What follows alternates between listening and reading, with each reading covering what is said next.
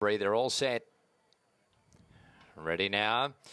Off and racing and caught them in a beautiful line too. Magic Leprechaun off the inside. Burrows forward to take up the running. Yvette trying to get outside of it. Triskelion kicking up and just making Yvette do a little bit of work here. Then decisively followed by Jamay, a long gap to Osbred Mimosa, and two away last was Das Capital. So Berry took the race by the scruff of the neck, and he drives through to lead on the first start of Magic Leprechaun. It leads here by half a length. In second was Yvette. Back behind those on the fence was Triskelion. They were followed by Decisively, a length and a half to Jamay, followed further back by, as they make the turn, Osbred Mimosa, and two away last was Das Capital. 450 metres to go. They turn the bend, and Yvette about to put the pressure to Magic Magic Leprechaun.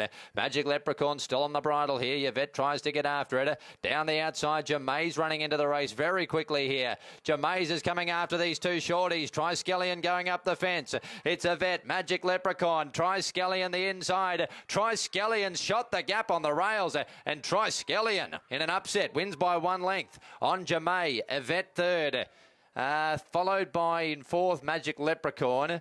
Behind those was Osbred Mimosa, Das Capital, and uh, last in, that was decisively. Jeez. Triskelion.